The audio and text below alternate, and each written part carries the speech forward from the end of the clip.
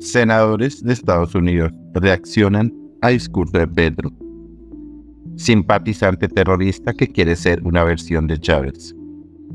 Cuatro congresistas estadounidenses han expresado su rechazo a las recientes declaraciones del presidente colombiano Gustavo Petro, las cuales traerían serias repercusiones en las relaciones diplomáticas y de seguridad entre Colombia e Israel. Las marchas que se llevaron a cabo el pasado miércoles 1 de mayo en Bogotá congregaron a miles de ciudadanos que salieron a manifestarse por distintos objetivos, ya que se conmemoraba el Día del Trabajo.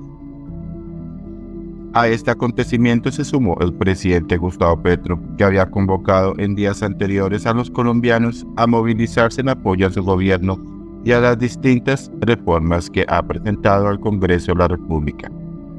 Esta invitación resucitó múltiples críticas que lo señalaban de querer apropiarse de un día destinado a los trabajadores y no a los simpatizantes de su administración.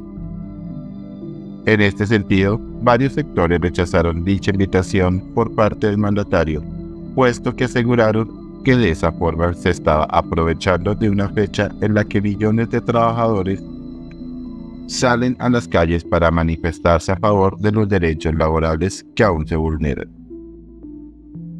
En el polémico discurso que realizó Gustavo Petro desde la Plaza de Bolívar, aseguró que el 2 de mayo Colombia rompería oficialmente las relaciones diplomáticas con el Estado de Israel. Incluso el mandatario nacional usó el calificativo de genocida para referirse a esa nación y a su gobierno. Debido a esto, varios senadores estadounidenses han expresado su rechazo ante las recientes declaraciones del presidente colombiano, las cuales, según palabras de los congresistas, traerán serias repercusiones para las relaciones diplomáticas y de seguridad entre Colombia e Israel. Lo anterior, teniendo en cuenta que el país del Medio Oriente es uno de los principales proveedores de armas aviones y otros sistemas de ciberseguridad del país suramericano. Este rechazo se fundamenta en la preocupación por las posibles consecuencias de tal decisión podría acarrear en los ámbitos mencionados. De los primeros en pronunciarse fue el senador Marco Rubio, que ha expresado su descontento tras la decisión tomada por Petro criticando lo que él considera como una continuación de la postura anti-Israel del mandatario. Esta declaración se produce en un contexto de tensiones diplomáticas en las que Rubio calificó la medida del mandatario colombiano como lamentable, dada la larga historia de relaciones diplomáticas y amistad entre ambas naciones. Es muy triste ver que un país tan increíble, de personas que tanto han sufrido a manos de los narcoterroristas, está actualmente gobernado por un simpatizante terrorista que quiere ser la versión colombiana de Hugo Chávez, manifestó. Otra de las congresistas que también habló duramente de la decisión del mandatario fue María Elvira Salazar, senadora que en repetidas ocasiones se ha referido al mandatario colombiano.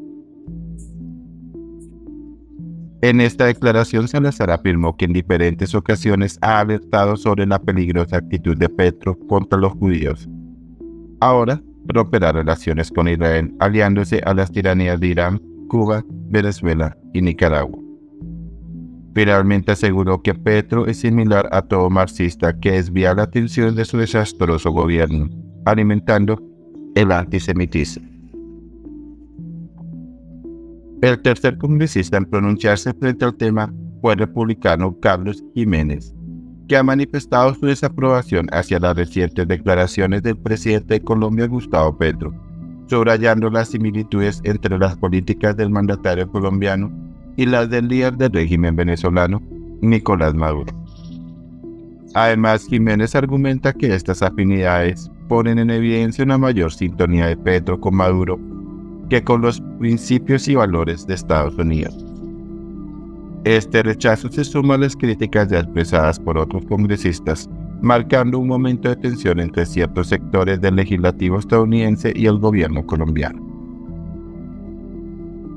Israel es la única democracia en el Medio Oriente y el aliado más fuerte de Estados Unidos en la región. Desde el Congreso Federal denunciamos su decisión patética, expresó. El cuarto senador, Mario Díaz Balar, también salió a responder con firmeza en contra de las recientes afirmaciones del presidente Petro, criticándolo vehementemente debido a su historial como miembro del grupo guerrillero M19. Petro anunció que Colombia romperá relaciones diplomáticas con Israel debido a que Israel tiene un presidente genocida.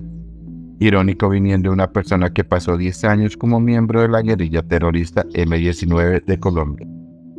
Incluso durante uno de los actos más sangrientos del país, el asedio al Palacio de Justicia que mantuvo como rehén a la Corte Suprema de Colombia, dejando 94 muertos, manifestó el congresista en su cuenta de